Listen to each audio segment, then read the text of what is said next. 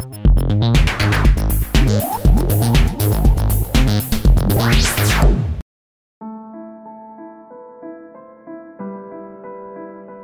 提起伤人最多的动物，人们的第一反应一定是豺狼虎豹，因为它们有着锋利的牙齿以及残忍的本性。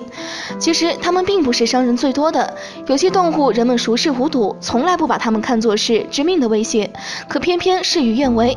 那么，如果给世界上伤人最多的动物排序的话，谁会是第一名呢？第五名，以色列金蟹。世界上的蝎子种类繁多，但是致命的大约有二十五种，以色列金蟹就是其中之一。它的危险除了其毒液之外，还有其防御力。如果被它咬到了，就会引起高烧、高血压，严重的会死亡。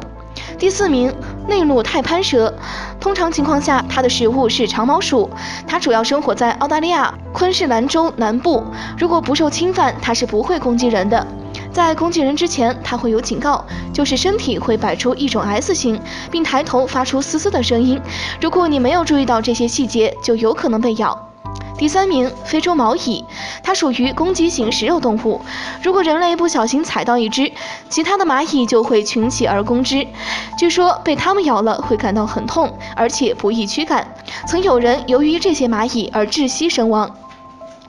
第二名，蚊子。从全世界范围来看。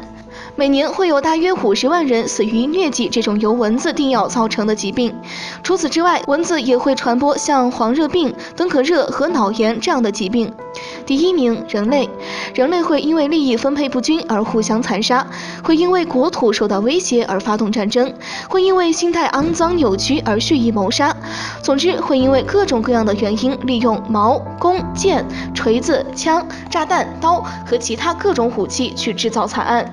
人类每天披着光鲜的外表，忙忙碌碌，但是却时常伤害彼此以及其他生物。